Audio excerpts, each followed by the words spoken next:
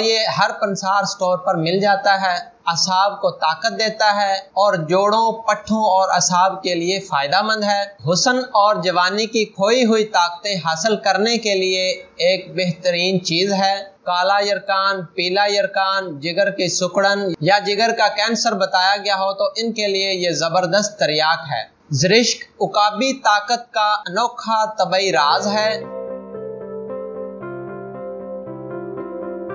بسم اللہ الرحمن الرحیم۔ السلام علیکم۔ ناظرین الشافی آن لائن سے میں ڈاکٹر محمد سرفراز آپ کی خدمت میں حاضر ہوں۔ ناظرین، آج کی میری ویڈیو میں میں آپ کو ایک انتہائی فائدہ مند میوہ زرشک کے فوائد بتانے جا رہا ہوں۔ یہ ایک خاردار پہاڑی درخت کا پھل ہے۔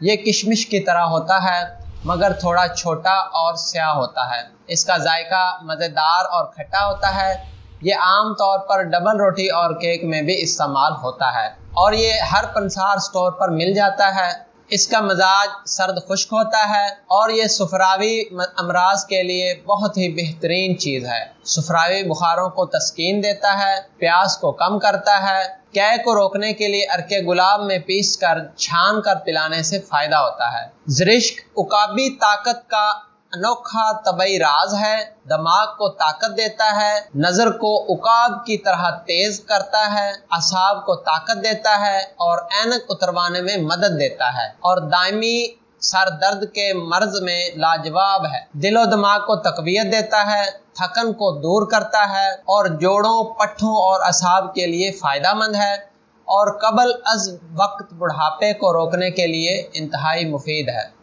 زرشک، حسن اور جوانی کی کھوئی ہوئی طاقتیں حاصل کرنے کے لیے ایک بہترین چیز ہے۔ دل کے پٹھوں کو طاقت دیتا ہے، چہرے کی جریوں کے لیے بے حد مفید ہے۔ حسن کو نکھار دیتا ہے اور چہرے پر شادمانی لاتا ہے۔ میدا اور جگر کی گرمی کو دور کرتا ہے اور میدا اور جگر کو طاقت دیتا ہے۔ جگر کے لیے انتہائی فائدہ مند ہے اور نیا خون بنانے میں مدد کرتا ہے۔ میدا اور جگر کی ورکنگ کو تیز کرتا ہے، خوب بھوک لگاتا ہے۔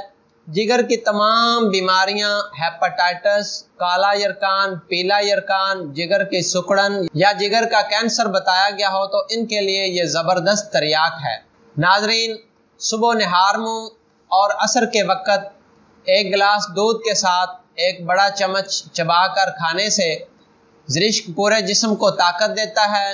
اور اگر گرمی کا موسم ہو تو ایک کپ ارکے گلاب میں ایک بڑا چمچ زرشک ڈال کر اس کو رات کو رکھ دیں اور صبح اس کو خالی میں دے چبا کر کھا لیں اور ساتھ ارکے گلاب بھی پی لیں۔